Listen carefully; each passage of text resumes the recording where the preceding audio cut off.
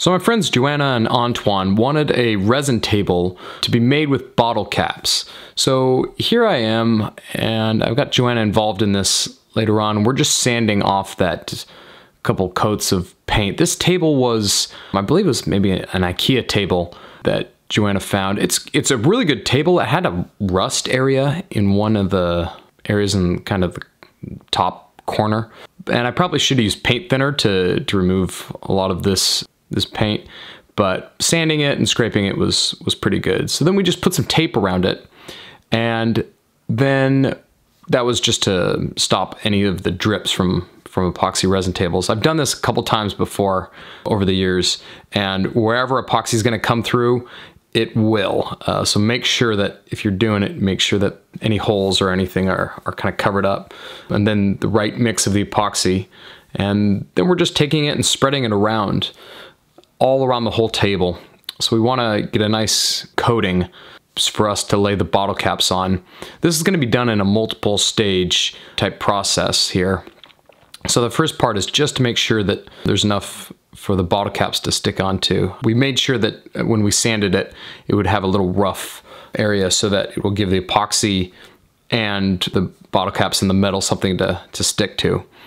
And Joanna wanted to move the or place the bottle caps in a certain position with a kind of a, a peace symbol in the middle. So here we are laying all these bottle caps around and it was um, it was pretty therapeutic. You have to work kind of fast with this type of epoxy resin that we're using. We were using this stuff called art resin, which is a one-to-one -one mixture ratio of hardener and epoxy, and you just mix those two together and you've got about a 45 minute cure time. So you have a little bit of time. It starts to tack up a little bit after a couple minutes. So yeah, we had to work a little fast. But the major important part was to not get any on on our hands. Yeah, use gloves and make sure that you have plenty of uh, tape covering any areas where the epoxy might leak out through. So the bottle caps were going to be in somewhat of a tricky situation because they wouldn't line up perfectly. Uh, they were pretty good um, when they were next to each other, but trying to fit them as like a perfect circle was kind of challenging because we wanted to like fit them into each other. So it got to a, some areas where we'd have like a little gap here and there just to make sure that enough bottle caps could fit all on the table.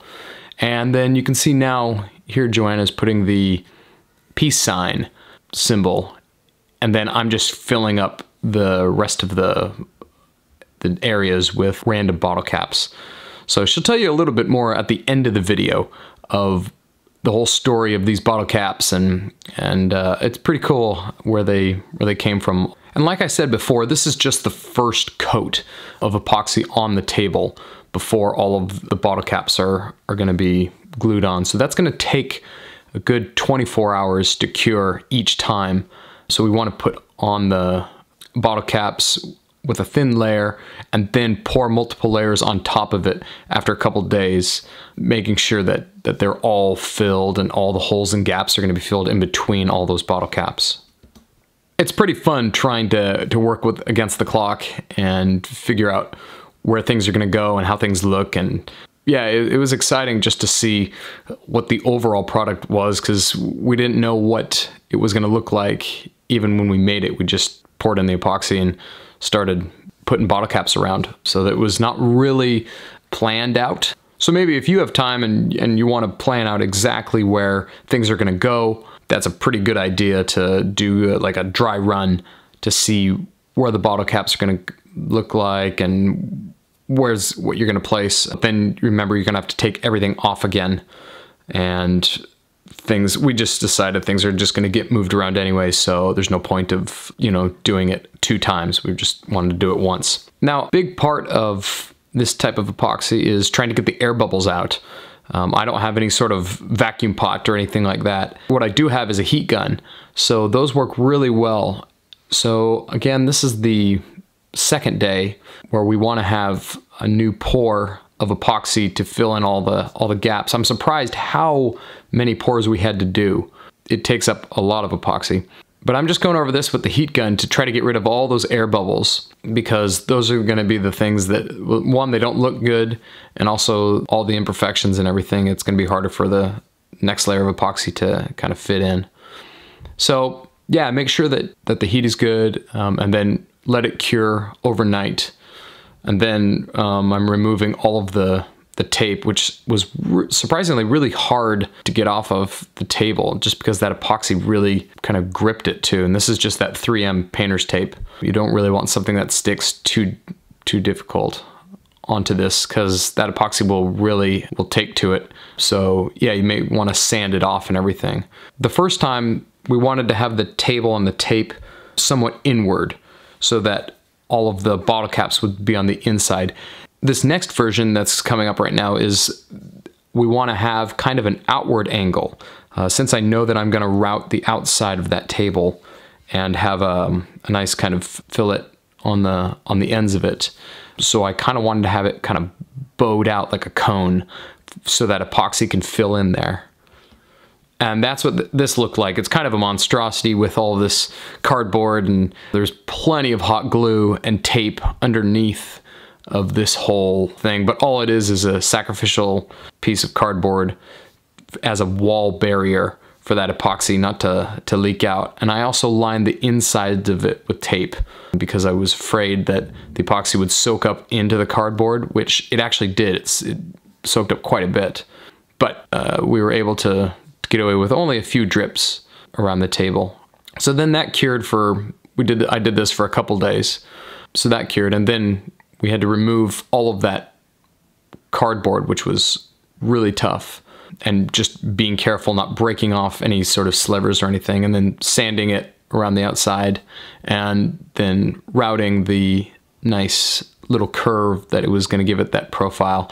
I know that um, on previous projects I've sanded it down all throughout the whole grits uh, to make sure that like the table's really smooth and, and looks great.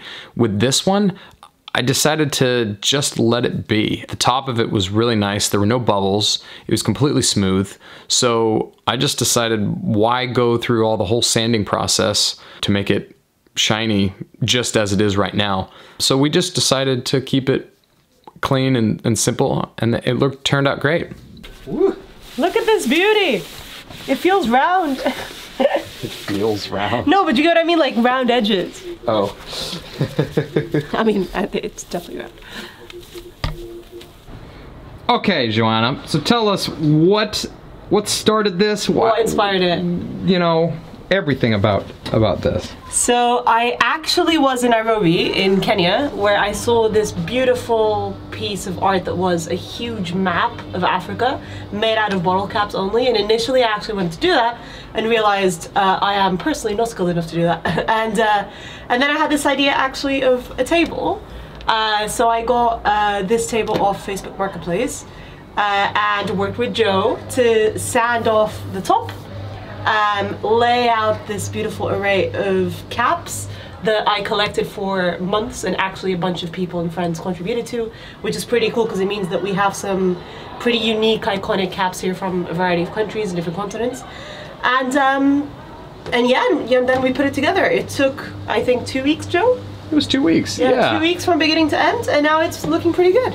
And with our lovely peace sign uh, of Corona. Now, did you mean for Corona, or was that... Uh... It, it's just a, a, nod to 2020 and 2021, for sure. Well, peace out.